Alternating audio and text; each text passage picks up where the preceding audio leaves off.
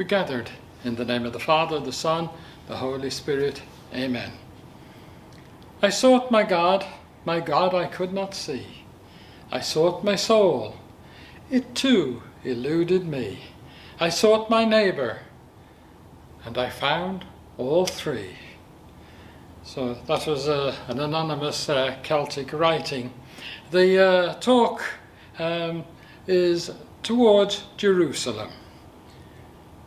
Our journey is ultimately a journey to Jerusalem. Just as Jesus went up to Jerusalem and up onto the cross, the Lord is trying to guide us towards Jerusalem.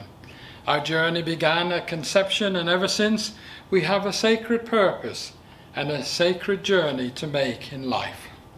As religious, we are committed to live our lives in a special way that calls us to be open to transformation. The Lord has a mission in mind for us, and as Cardinal John Henry Newman, in his prayer, reminds us that even though the Lord has a mission for us, we may never explicitly know it in this life. However, we cannot just leave it there. We have to work diligent, diligently to discover the mission the Lord has for us. It may mean doing something we've never done before or trained for. And one of the great examples, of course, is Jesus turned fishermen who knew all about nets and boats into fearless preachers and teachers. So what does God want me to be transformed into? That requires lots of prayer and contemplation before the Lord. The vow of obedience calls us to collectively listen to God's voice recording the community's mission in the world. How do you receive your call to be a Sacred Heart? Did someone call you, invite you, suggest to you, you know, uh, I think you should join a religious order. Often we were influenced by people either asking or recommending us to enter. Some chose the life because they saw it as a fuller form of life. But no matter, we had to take stock of our situation and have the courage to book the common trend of our friends. When we answered our call, we were very much the same position as Abraham. We hadn't a clue what it entailed or how it worked out. So when we took our vows, God made a covenant with us to which he is always faithful. He will always be with us. And like Abraham, we really only have one response to God, trust in God. That's all Abraham could do when God said, I want you to leave your family, your friends, your land, I want you to go on a journey. And he says, where to? He says, I'll tell you when you get there. And so all Abraham could do was put his trust in God. And that's all we can do, is put our trust in God as he leads us the, uh, through our life. and in return, we have experienced a life we could not have imagined. So how do you know what you're called to today? When we entered religious life, the road map was fairly simple. Follow the rule and the rule will guide you. But the world today is very different and we too are different. We are very different from the person who first entered religious life. Our corners have been rounded off by the many compromises and accommodations we have made. We, in our turn, have been called to transform the world by being loving people. Love changes everything for the better. Love is the most potent power in the world. We become loving by being open and willing to cooperate with God. The Sacred Heart is our guide in reaching out to people in a loving way. In the past we worked hard for God and the community, but now it's time to allow God to work in us, to move into a more contemplative way of life. We are called now to abide with God because we have or are moving away from a life of doing.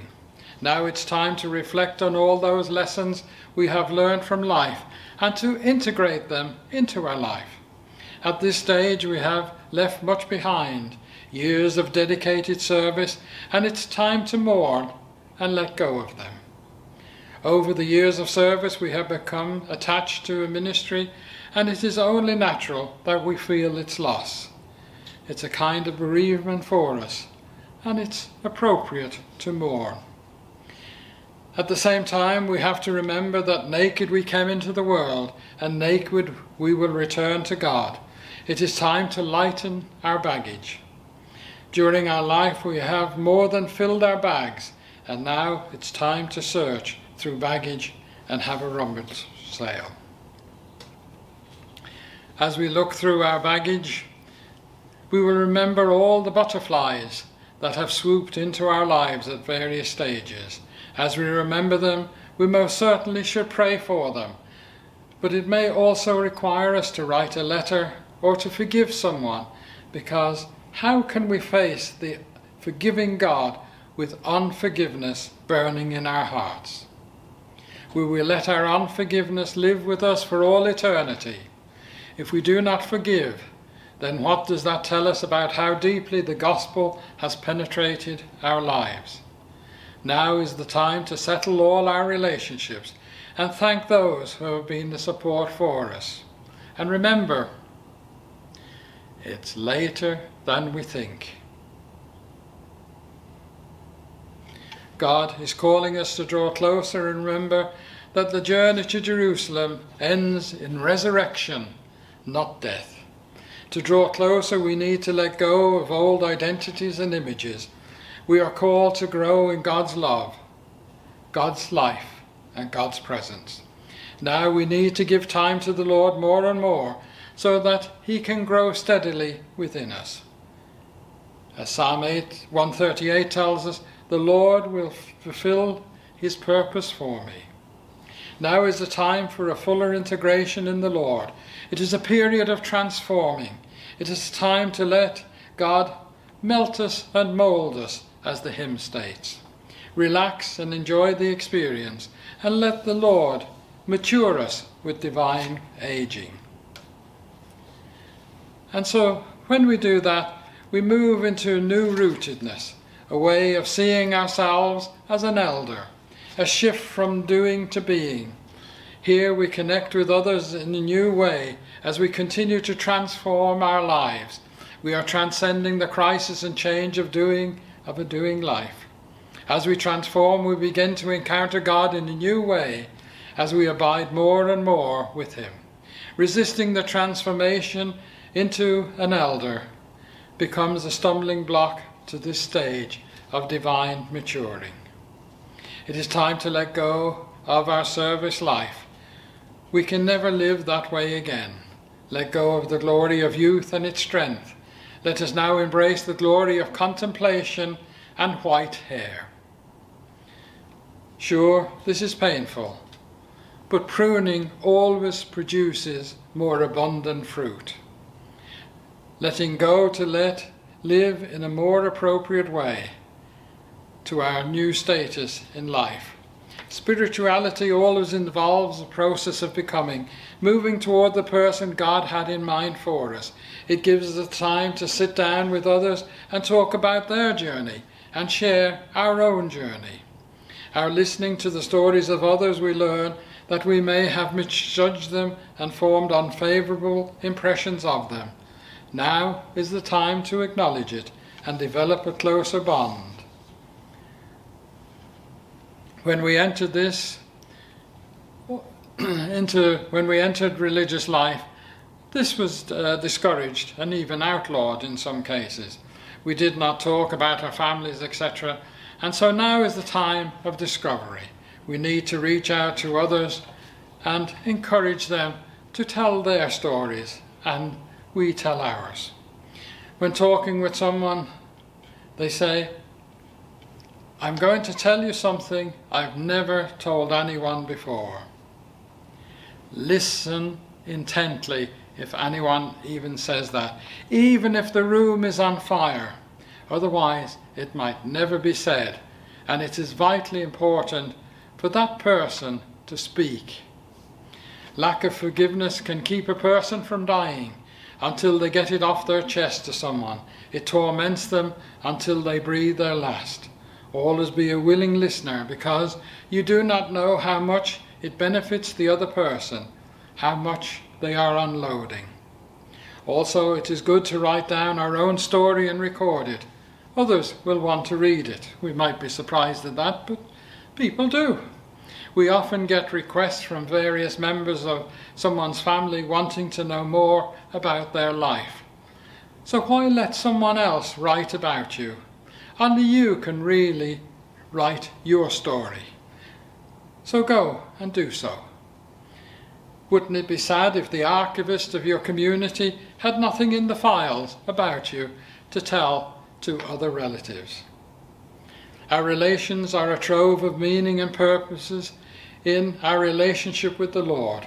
It becomes more real as we age, for as we engage on the spiritual search, aging challenges us to discard many things, including our infile, in, uh, imagery of God.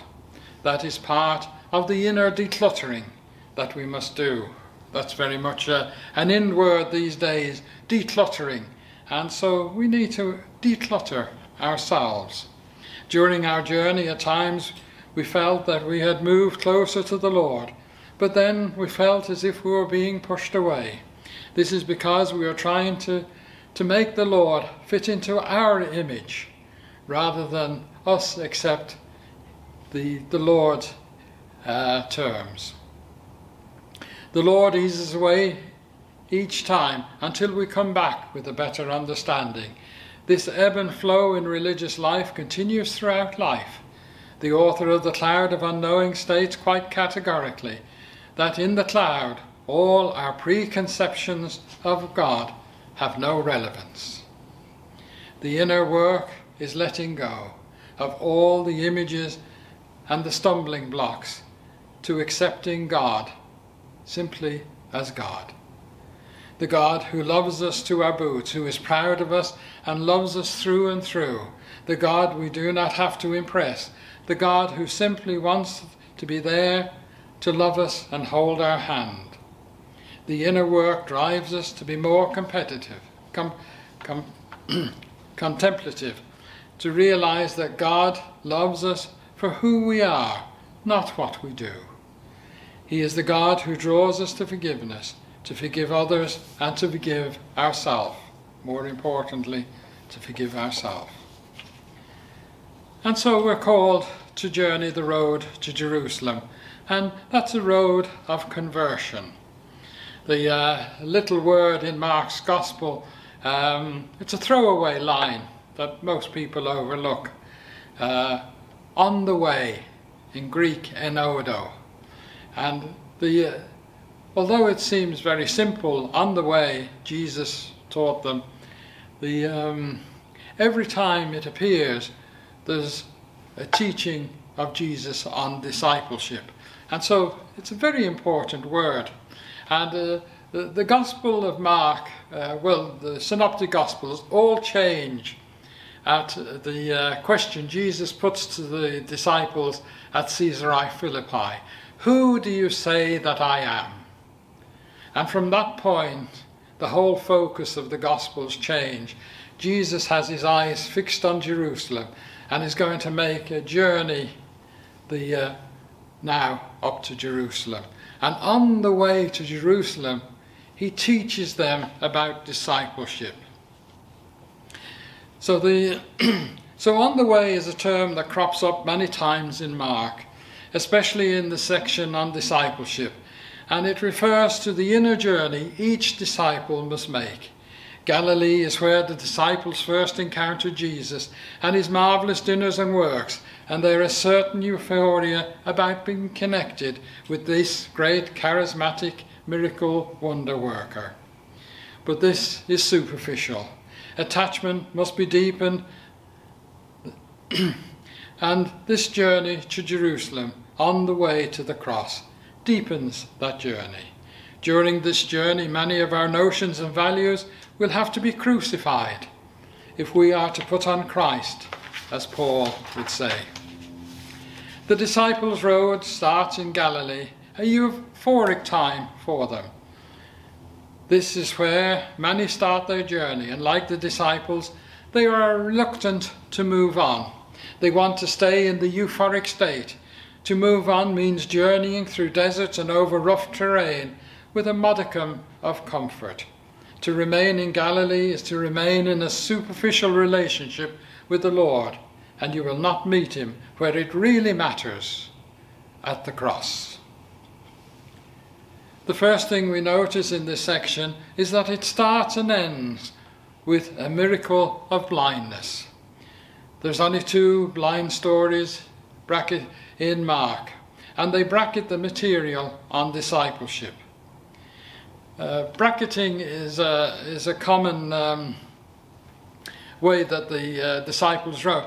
Uh, if you look at a manuscript of uh, uh, the, the Gospel, it's just written in Greek. And it's like uh, the lads in the high school here write. No paragraphs, no sentences properly or anything. They just write. And that's the way the gospel writers, so they must be imitating gospel writers. Uh, so that's the way the gospel writers wrote. They just wrote in capital letters and just brum, brum, brum. They didn't break it up into paragraphs like we do uh, or anything like that. So how do you know which is the start and uh, the end of a section? And so it was usually uh, around a, a, place name, um, the, a certain place, a certain uh, thing. Um, it, it starts and ends with the sa same way. And so uh, there's prime examples of it, like John's Gospel. In John's Gospel, he only mentions Mary twice. Now, the guy who was given charge of Mary at the cross, you'd think he'd me mention her quite, you know, quite often during his gospel. Only mentions her twice. At the beginning of his ministry at Cana and at the cross. And so what he's saying by that is that Mary encompasses the whole ministry of Jesus. So uh, then there's the curse of the uh, fig tree. The barren fig tree brackets the cleansing of the temple. And the, um, the barren tree is cursed and Jesus is cursing the temple because both are barren. So the temple, like the fig tree, is fruitless. And what does not uh, produce fruit is discarded. So the material on the outside, on the bracket, it's an interpretation of what's in between. And so the uh, and so Mark in his section on discipleship, he begins with the story of a cure of a blind man and he ends with the story of a blind man.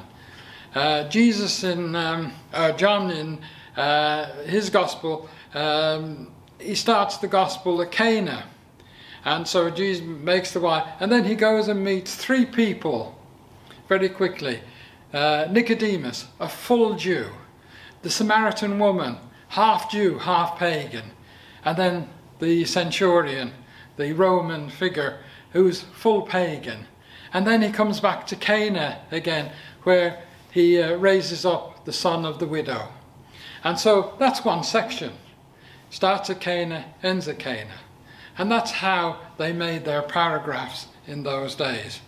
And so it's, um, it's a device that was uh, very uh, common at that time. So the, uh, um, the great source of this is uh, Achtemeier's book um, on Mark. The, uh, uh, he details all, all this, how they, they used it and that. And so what is the significance of Mark's bracketing this section on discipleship with the two blind stories. When we look at Mark, we see that despite there being many miracle stories, there are, however, only two uh, about the cure of a blind person. This makes them more significant. So why did Mark reserve these two stories the, um, for discipleship? what interpretation did he want us to draw about discipleship and blindness? The blindness stories show that even though the disciples were committed to Christ, they were nevertheless blind in many respects. And so that's a commentary on us too. The, uh, although we might be following the Lord, we are still blind in many respects. They had extreme difficulty in seeing the real Jesus, and this blindness can only be cured by divine help. To see Jesus is a gradual unfolding developmental process. So whilst they were on the way, Jesus was trying to open their eyes to who he was and what he was really about, and to heal their blindness brought about by their culture and popular religion. And this begs the question of us today what blindness do we have? None of us are immune from the prejudice and bias of the society we were brought up in. We have to make a truly honest assessment of all our values. Today in mission theology, the question is raised how do we distill out the essence of the gospel from the culture in which we received it? What notions from culture and popular religious assumptions do we need to weed out? All disciples have to plod their way to Jerusalem. We can't remain in Galilee all the time. We have to journey to Jerusalem, to be on the way, on the way to the cross, because it is only when we fully understand the cross that we can really understand Jesus. To proclaim Jesus, we first have to understand him as best we can. It will also require divine work to open our eyes. It is a gradual opening, hence the cure requires two attempts. Also, it reminds us that we cannot do it on our own. We need the constant work of the divine active in our lives. As he told uh, Peter, it was not flesh and blood that revealed this to you. So blindness is a symbol of imperfect discipleship. And to cure our blindness, we have to journey, to be on our way to the cross. We see this in imperfection in disciples. Uh, Mark 8, uh, 32. Peter is rebuked after his confession of faith. 9.5. The misunderstanding of the, at the transfiguration. 9.32, the misunderstanding of the passion predictions. 10.32, the disciples are afraid of what Jesus is saying. Imperfection needs to be healed. They need conversion to change their ways and thinking, coupled to take on a new set of values. But it is not easy to hear the words that challenges us, to hear the hard sayings that questions our view of life and values and ask us to replace our values with a new set of values and concepts. None of that is easy and sometimes quite painful.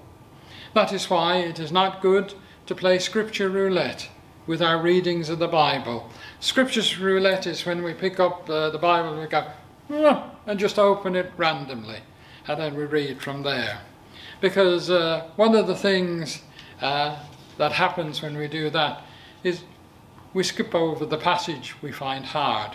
And those are the interesting, the passages we find hard are the most interesting passages for us. Everyone finds something in the Bible hard. It's not, um, so, and that section is not hard for everyone. But for, um, for me or for you, it may be a hard saying. And it's grappling with that that we need to do. So the um, so the uh, excuse me. So would you have chosen Peter if you were in Jesus' shoes? Peter is frequently being slapped down, but one of the things with Peter is he always thinks about it and bounces back with a new understanding. And so that is what we need to do is to come back to the Lord with a new understanding of him. That is why Jesus chose him to be leader. So are we going to be like Peter and willing to change our attitudes and understanding of Jesus as we head towards Jerusalem. If we don't change, we'll never get there. So if someone said that religious life is a radical living of the gospel, we choose to follow the steps the, from our companions and to walk with Jesus. So how do we know Jesus?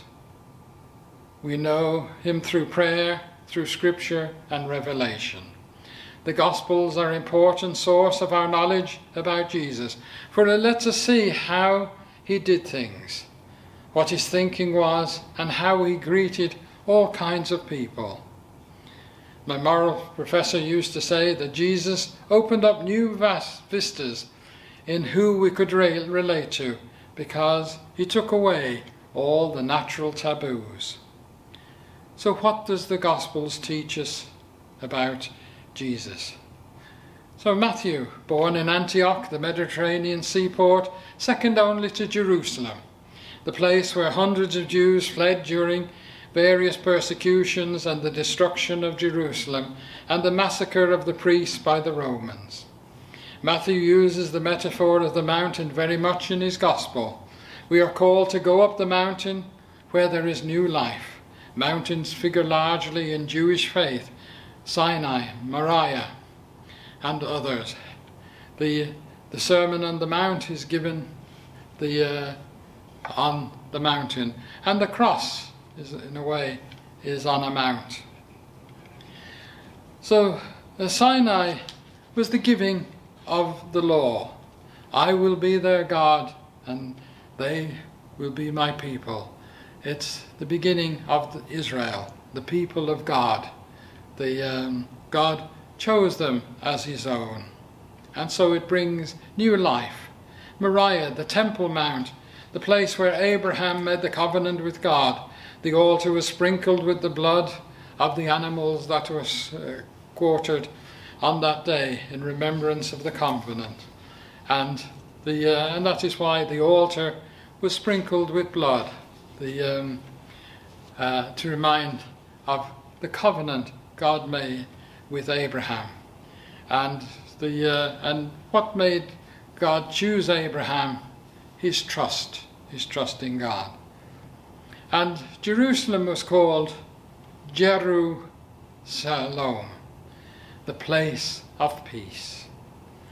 The Sermon on the Mount, Jesus was acting like Moses, going up a mountain to give a new law for the new covenant that he was about to make.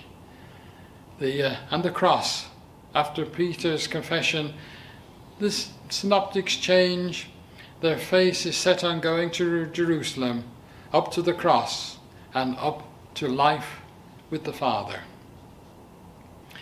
Mark's Gospel uh, sl slightly different. The main metaphor, the sea of suffering. He has a few stories about being uh, on a storm at sea. Written in Rome not long after the persecutions by Emperor Nero, Rome was the hub of the vast Roman Empire and it dominated commerce. It attracted people from all over the known world and many Jews lived there, outside the city on the other side of the river from the patricians. Rome burn, burnt in a seven-day fire which totally gutted the city. Someone had to be blamed and the Jewish enclave escaped the fire, so they must be to blame and in consequence some Jews went to Nero and said it was the Christus Jews that were to blame. And so the soldiers were sent to round up the Christus Jews. Peter got swept up in this and executed. It was a savage persecution, and it's against this sea of suffering that Mark writes his gospel to encourage Christians who were suffering to hold firm to the Lord, and he will deliver them safe. Hence the sea, a troubled place with its storms, is the setting for many stories in Mark. Luke, different again. Walking the road. How do we mature in our Christian living? It was written for Greek Christians living in the communities around the Mediterranean. Nero's persecution was spreading out across the empire, but not as aggressive as in Rome. So the question his readers was, Are we on the right road? Teacher, what must I do to inherit eternal life? For Luke, the right road is the road of compassion. And so he tells the story of the good Samaritan, the prodigal son, etc., demonstrates the way of compassion, even to their persecutors. Compassion and service is the hallmark of the Christian. And in times of adversity, this really marks out the Christian. Christian Christianity is compassion and service, not a theory. Put off the self-ego for the Christian ego. John, uh, uh, John completely different than the other three. Um, usually, um, if you go into a very old church, uh, they have the pulpit and it's usually an eagle holding up the books. The eagle represents John because John's theology soars way above all the others. Uh, it was the last gospel written. He had he was a young young lad when uh, uh, when he was going round with Jesus, and now he's an old man. He's had lots of time to reflect. It was written late 90s, early hundreds, so he's had much time to reflect, and so it's di very different. And so for John, it's resting in the garden, the place of joy. By the time John writes, there are many converts, and they're high on enthusiasm. And so the danger is that they go off and do things on their own, doing great things in their name. And that leads to the trap of feeling righteousness. Look how well we're doing. We are better than you. And so John is warning that they uh, are still immature in their faith and so needed to be grounded more and more ever in the Lord. And so, I am the vine, abide with me. Uh, such phrases uh, litter John's Gospel. And so, and if we do, if we abide in the Lord, this will lead to inner joy, a peace the world cannot give. He calls us into the garden, a place of new creation and life. The resurrection takes place in a garden. And so our journey is from Eden to the new Eden. So the cross opens up the gate to the new Eden that's created for us. So Jesus opens that gate for us the, uh, through his sacrifice on the cross. Where Adam failed, Jesus triumphs. And we should be filled with joy because he is leading us into that new Eden, into that garden of peace and calm. And so the Gospels, the, uh, they show us how to live the, um, our days now. And so, um, so how am I going to live the Gospel at this particular time?